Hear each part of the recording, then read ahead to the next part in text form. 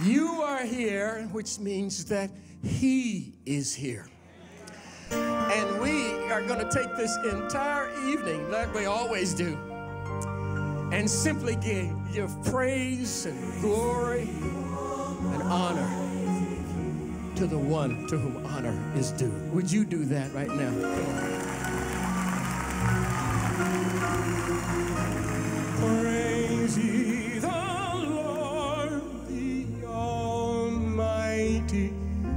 The King of creation. Oh, my soul, praise him, for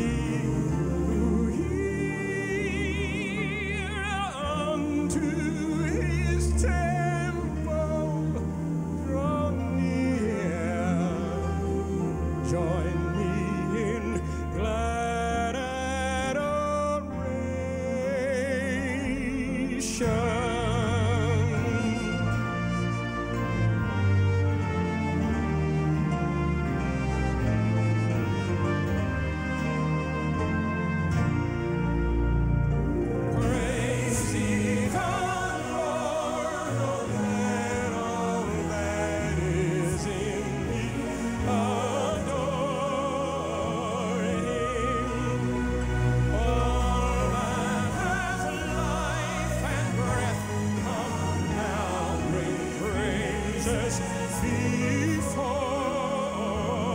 him. Listen, listen.